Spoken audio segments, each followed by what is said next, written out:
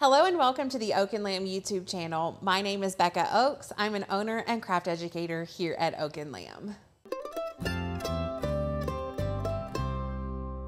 Probably my favorite part about the whole creative process when I am crafting with my die cut machine or my laser cutter is actually creating the graphic or design that I'm going to be printing or cutting. I love graphic design, and I know a lot of you all do as well. I know a lot of you struggle with it too, and so that's why I wanted to do this video, which is five design mistakes you might be making in Design Space. So let's jump to number one. Number one is that you are not kerning your fonts. Let's take a look at what I mean by that. Kerning fonts refers to the space in between your letters. If you are using a cursive font like this, then you do not want to leave space in between your letters. These should all be touching like this word right here. Thankfully, Design Space has created an update where most fonts are automatically kerned. However, that's not always the case. So make sure when you are designing that your cursive fonts are all touching each other like they're supposed to. The second design issue that I see in Design Space is that you aren't using glyphs and special characters and fonts.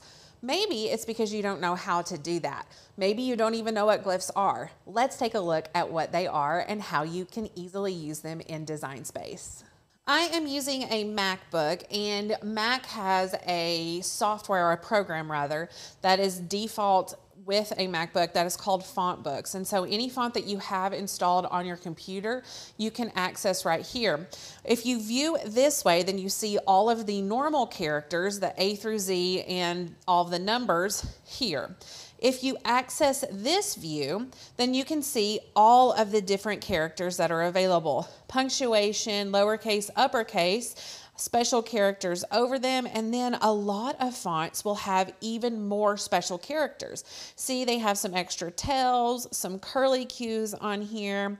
And a lot of fonts like this one will have several options for letters. So there's three different T options here. There are options for specific letters that are next to each other that flow really nicely with the next letter and even multiple letters. Not all fonts have these options. However, if you download and or purchase and download a font and there's a TTF file option or an OTF file option, if you choose the OTF file option and download it, install it on your computer, then a lot of times it does have these special characters. Now, how do you access those and why do you want to use them in Design Space? That's one thing that is frustrating to me. When you're in design space, there is no way to easily access those glyphs. You can see here, this font is just the regular font that comes up when I type. No special characters, no special letters. This one right here has a few special characters. We have a fun tail right here on the P. This S is a little bigger and a little more fun. The B is a little bit different. The R has a tail on it and this S is also different. Now, this looks really cute. However, this one is over the top, top notch, really great. So to access the special characters here in Design Space, what I want to do is insert my text box and we'll just put in pies and I'm going to select the font that I'm going to be using. And then what I can do is reference this guide right here. So let's look and see what all is available. I want to use this P.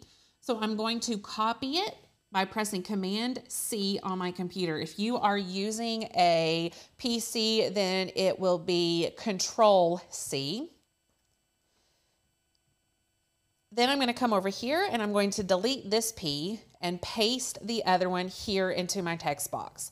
Then I can do the same thing with my S. So let's delete this one come back over to our font book and then we're going to find a fun S to use. Let's copy this one and then we'll paste it here in this text box. And now you can edit like normal. So access those special characters and use them to make things look adorable and different than your competitors who are creating files. The third mistake that I see a lot is relying on the alignment tools to align your graphic. Just because it aligns with those alignment tools, whether horizontally or vertically, doesn't mean it's necessarily pleasing to the eye.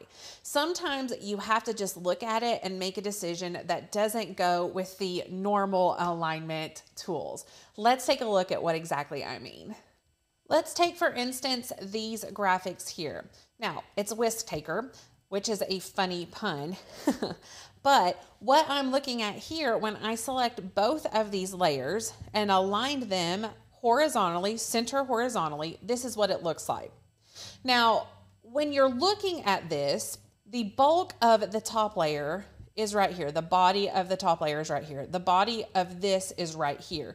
And so it looks a little bit off kilter when you allow design space to align it center horizontal. See how this one is aligned and centered with the bulk of the text instead of using the extra flourishes right here to help align it.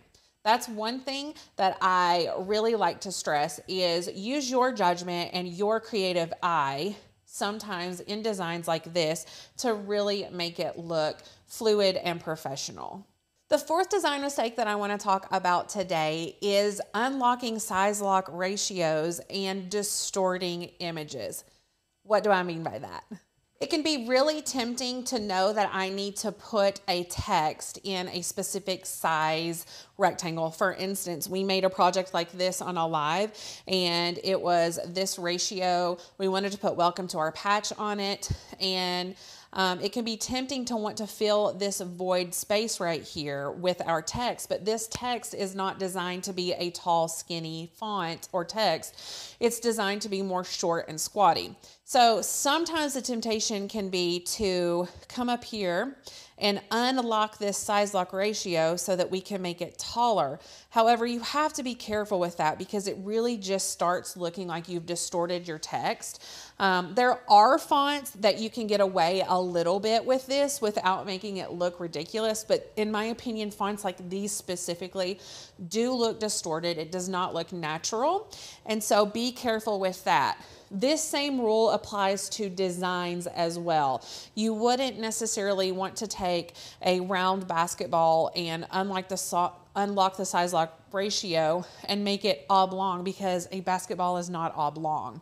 That's just one example, but there are lots more. So steer clear of the temptation to just fill space by distorting images to fill those spaces.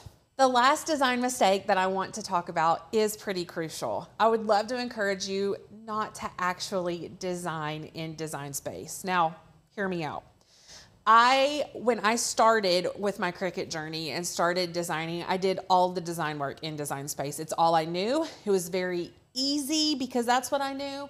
However, you can't save it and export it as an SVG. So if I create this absolutely amazing graphic in Design Space, I've spent all of this time and energy to create it, and I want to send it to a friend or I want to sell it because it's really amazing, I can't save it and export it as an SVG file or a PNG file in order to send it to someone.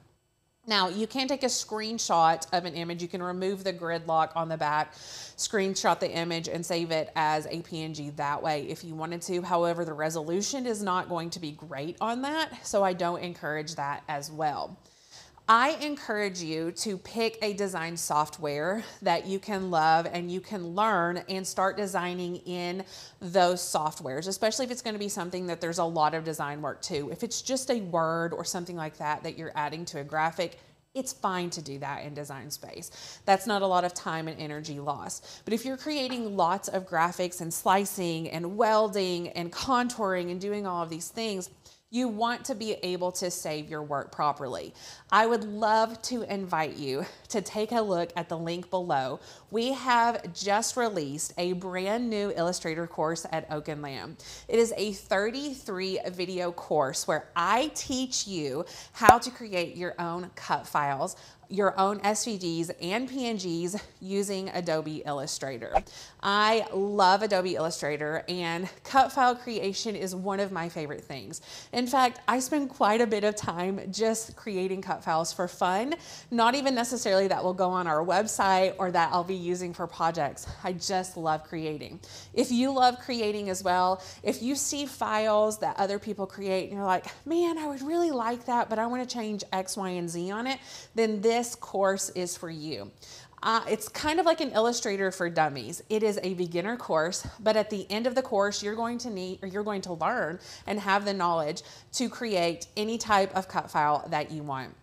In addition to the 33 videos, we have access to our private Illustrator Facebook where you'll get continued support from me and other students who are in the class. So if you have design issues along your way, you can post those issues, screenshots or videos in that private Facebook group and I will weigh in as well as other students to help you fix those issues.